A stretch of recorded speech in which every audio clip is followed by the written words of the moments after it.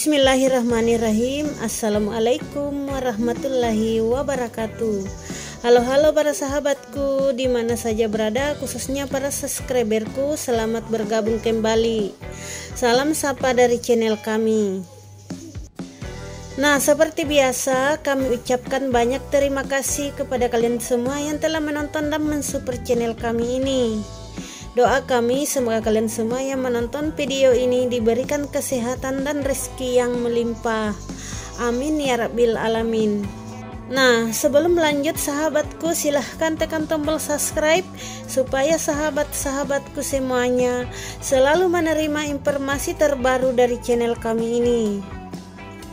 Nah, sahabat-sahabatku, di video kali ini kami akan membagikan secara khusus pada kalian semua mengenai cara untuk membantu mengobati memar dengan menggunakan daun jarak merah.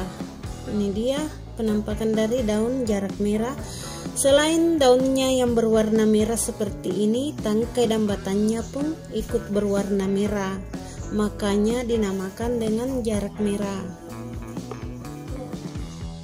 Memar merupakan cedera pada kulit yang dikarenakan benturan yang memecahkan pembuluh darah kecil di bawah jaringan. Memar yang disebabkan oleh benturan benda keras kadang menimbulkan bekas yang apabila dipegang terasa sangat sakit. Untuk mengobati memar, kami memiliki solusi dengan cara menggunakan daun jarak merah sebagai obat tradisional untuk mengatasinya. Siapkan sekitar 3 lembar dan jarak merah, lalu dicuci bersih. Dicuci bersih ya sahabatku. Setelah itu ditumbuk. Nah, setelah daun jarak merahnya ditumbuk seperti ini, tambahkan minyak sekitar setengah sendok teh seperti ini. Kemudian aduk sampai tercampur dengan rata. Sangat bagus ya sahabatku untuk menyembuhkan luka memar.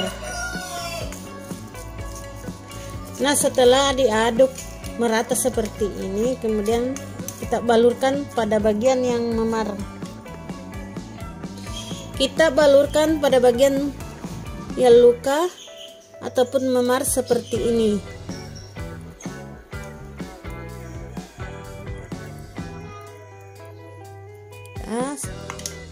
balurkan seperti ini kemudian diamkan sampai 20 menit setelah 20 menit kemudian dicuci sampai bersih ya sahabatku dicuci sampai bersih Nah, demikianlah cara untuk membantu mengobati luka ataupun memar menggunakan daun jarak merah. Seperti ini dan jarak merahnya sahabatku. Oke, selamat mencoba. Semoga bermanfaat. Nah, demikianlah informasi yang bisa kami berikan dan terima kasih sudah menonton video kami sampai selesai. Nah, buat sahabat-sahabatku yang memiliki tambahan informasi, kritik, saran, silahkan tuliskan di kolom komentar. Dan buat sahabat-sahabatku yang merasa video ini bermanfaat, silahkan like dan share video ini. Terima kasih. Assalamualaikum warahmatullahi wabarakatuh.